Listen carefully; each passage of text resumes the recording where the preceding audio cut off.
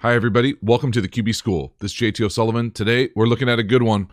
Tom Brady, Julian Edelman, third down, opening drive, AFC Championship game, doing what they do, connecting over the middle.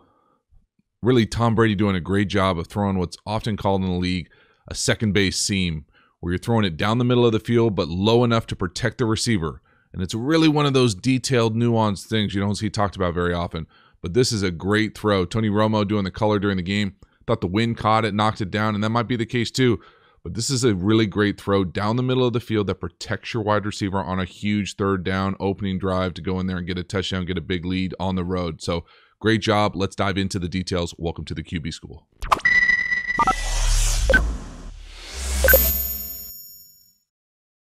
All right, here we go. It's three by one. Gronk's up top. He ends up getting jammed at the line of scrimmage. They do a nice job covering him. They end up blitzing four weak here, too.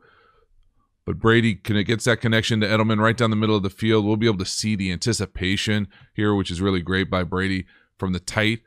But the concept wise, he's got a couple different options down here to the field. So you get the one on one to Gronk up top, and then we got options to the field. So right at the gate, here he is. They end up jacking him up pretty good at the line of scrimmage. Not any, not a good option here. Gronk one on one, and then we got here's Edelman who ends up getting the seam running by him, and then in front of him and down low in front of this middle field player because he's a threat right there. And then you got what I think is just another clear right here, and then you got a short little indie route five yard in right here. So he probably has either this seam, right, if he likes it, or if not, this indie's going to be coming underneath. And the four week right here, here's this defender. He's end up going to be blitzing. Back's going to pick him up and then we're going to get a potential green dog, but he ends up getting lost in the wash here. We'll talk about from the tight. So all sorts of really good stuff. Let's watch Brady, his anticipation here right out the gate. So when he lets his ball go, there it is. Come back, see exactly when it is. So here it is. Anticipate. He makes the decision, and you can see not a big window right there by any means. So you're able to come in here. You got to lay it out here. You're basically trusting that if it doesn't come right here, your guy's coming in and down before this DB comes and blows him up, protects him with a low throw right around this defender. So lots of good stuff. Great detail. Third down. I mean, these guys are on a different level on third down. That's why I think they're one of the best combinations to ever do it on third down. And this is just a great example right at the gate. First big time third down of this game.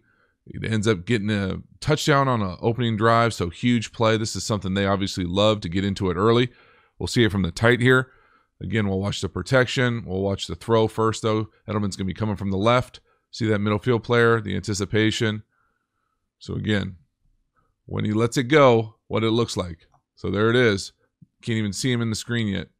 Right there. Now, this is a chance for a kill shot here. Back in the day, this would have been a kill shot.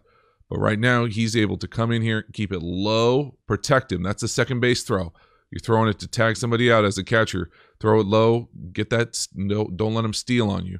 But right here, I love this job being able to come in nice and low, tight, protect your guy. But then the anticipation, obviously, these two are con- got it going on this time of year. They just do a great job. But this is one of those ones that really probably went understudied, undernoticed, but just a huge detail ends up leading to a huge touchdown.